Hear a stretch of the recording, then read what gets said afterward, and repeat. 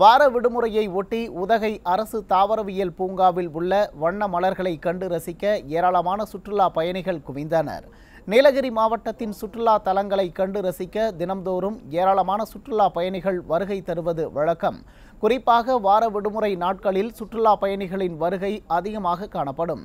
இந்நிலையில் வார விடுமுறையை ஒட்டி உதகையில் உள்ள ரோஜா பூங்கா அரசு தாவரவியல் பூங்கா உள்ளிட்ட சுற்றுலா தலங்களை கண்டு ரசிக்க ஏராளமான சுற்றுலா பயணிகள் குவிந்தனர்.